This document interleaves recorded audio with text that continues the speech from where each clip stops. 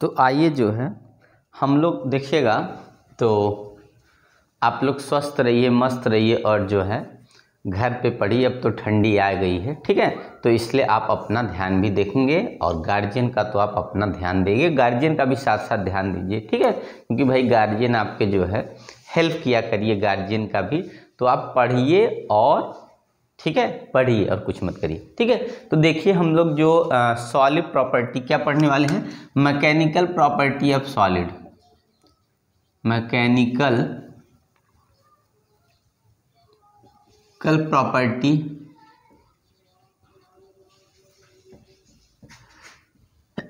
हाँ। Mechanical property of solid हम लोग पढ़ रहे हैं, ठीक है ना? तो मैकेनिकल प्रॉपर्टी ऑफ़ सॉलिड में हमने जो है, अब आगे हम लोग को पढ़ना है स्ट्रेस एंड स्ट्रेन पढ़ना है। ठीक है? तो देखिए स्ट्रेस क्या होता है? वैसे अगर अकॉर्डिंग टू हम लोग हुक्स ला जाएँ, ठीक है? हुक्स ला की बात करते हैं अगर तो इसमें क्या होता है? स्ट्रेस डायरेक्टली प्रोपोर्शनल टू नहीं स्ट्रेस नहीं होता हुक्स ला के अकॉर्डिंग होता है extension extension is directly proportional to load applied load applied ठीक है ये होता है। तो एक्सटेंशन डायरेक्टली प्रोपोर्शनल और अगर modulus of modulus of rigidity की बात करें अगर।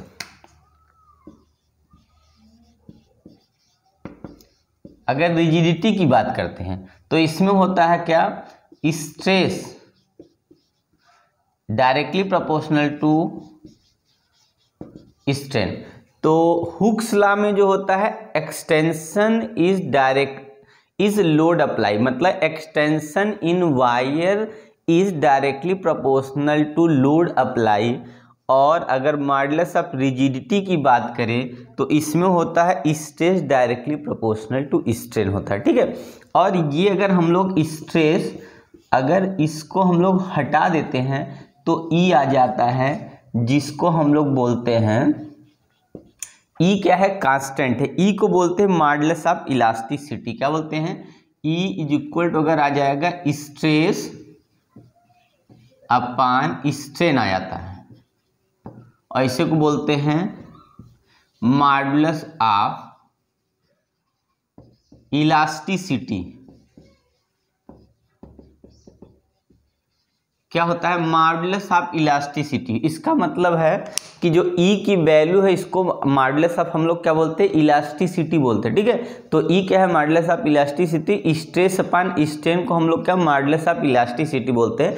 इसलिए मॉडुलस ऑफ़ इलास्टिसिटी कितनी टाइप की होगी?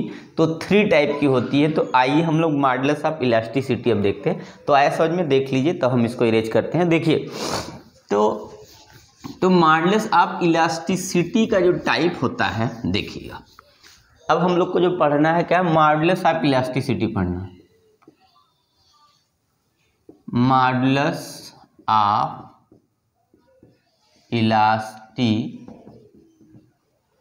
तो मॉडलस ऑफ़ इलास्टिसिटी में थ्री टाइप्स का होगा।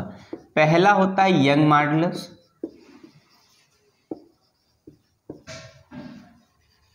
दूसरा होता है बल्क मॉडलस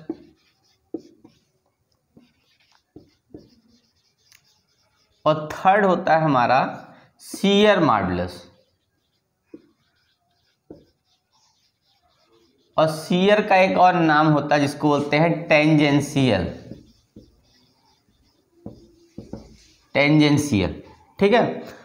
तो क्या है? यंग मॉडल्स पढ़ना, बल्क मॉडल्स पढ़ना, सीयर मॉडल्स पढ़ना, ठीक है? तो यंग मॉडल्स क्या है? यहीं से बताते हैं। यंग मॉडल्स को किससे डिनोट करते हैं हम लोग? वाई से डिनोट करते हैं। तो यंग मॉडल्स का मतलब क्या होता है? तो यंग मॉडल्स का मतलब है स्ट्रेस, या क्या होंगे? नॉर्मल नॉर्मल स्ट्रेस अपान, क्या होगा? Normal stress upon normal stress होगा और क्या होगा? चेंज स्ट्रेन में क्या लिखेंगे? चेंज इन लेंथ या नॉर्मल स्ट्रेस अगर वैसे फॉर्मूला के बिना लिखेंगे, normal stress upon longitudinal. Longitudinal strain होगा। पहले अगर ऐसे लिखेंगे क्या लिखेंगे? Normal stress upon longitudinal strain अब लिखेंगे normal normal stress upon longitudinal strain को लिखेंगे change in length change in length और अपान क्या होगा? ओरिजिनल लेंथ ओरिजिनल लेंथ तो क्या होगा? Normal stress upon change in length upon जो है, यहाँ मैं इसको इरेज करता हूँ। ठीक है? तो कितना होगा? नॉर्मल स्ट्रेस और change in length upon original अब देखिएगा नॉर्मल स्ट्रेस को हम लोग फोर्स अपान एरिया बोलेंगे और चेंज इन लेंथ को मान लिया हमने, जो लेंथ चेंज हुई इसको डेल एल मान लिया। और ओरिजिनल लेंथ हमारी कितनी अगर यल होगी, जैसे आपको फिगर समझा दूँ तो जैसे मान लीजिए क्या है? कोई यहाँ पे वायर है ऐसे करके, इस वायर को हम लोग क्या करते हैं, यहाँ से फोर्स लगा के हम लोग क्या करते हैं, यहाँ से किसी चीज़ से फोर्स लगा के या लोड लगा के इसमें कोई चीज़, वजनी चीज़ बाँध देंगे। तो ये क्या करेगा, आप देखेंगे कि यहाँ पे ये क्या होगा, इसकी वायर की लेंथ ऐसे बढ़ जाएगी। इतनी लेंथ ये बढ़ गई, इसी को डेल एल नाम दिया गया और ओरिजिनल लेंथ इसका यल है। तो देखें कि इसका फोर्स लगाएँ तो इसका इतना लेंथ बढ़ गया उसी को बोलेंगे फोर्स पर यूनिट एरिया हो गया। तो एरिया क्या होगा? ये एरिया यहाँ पे हो गया। फोर्स या। तो फोर्स जब पर यूनिट एरिया या नॉर्मल स्ट्रेस लगाएँगे फोर्स पर एरिया पे तो जो होगा वो चेंज किसमें होगा? लेंथ में चेंज होगा पर वर्जन मतलब डायमेंशन जो चेंज होगा, उसको लॉन्गिट्यूडनल स्ट्रेन बोलेंगे। तो लॉन्गिट्यूडनल स्ट्रेन को कैसे लिखेंगे?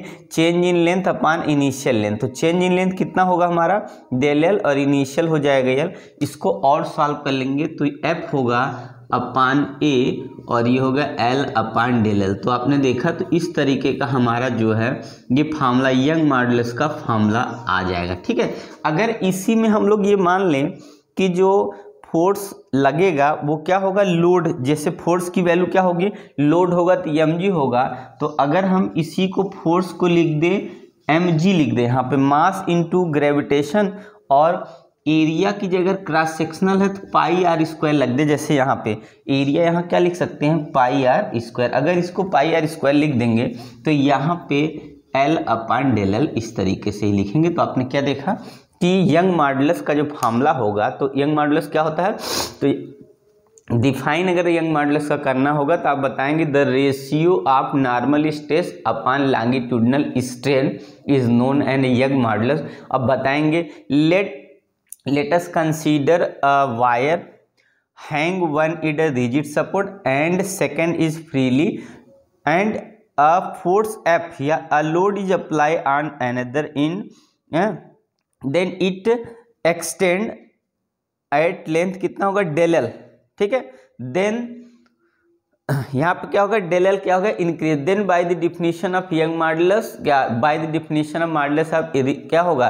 इलास्टिसिटी आपका होगा normal stress one longitudinal stress और बारी बारी वैल्यू रखते चले जाएँगे तो आपने देखा सॉल्व हो क्या? आपका ई एम जी एक तो आ जाएगा F upon A L upon del L और या M G upon pi r square L upon del L इस तरीके से आप देखें कि आपका आसानी से आंसर आ जाएगा, ठीक है? कोई दिक्कत नहीं।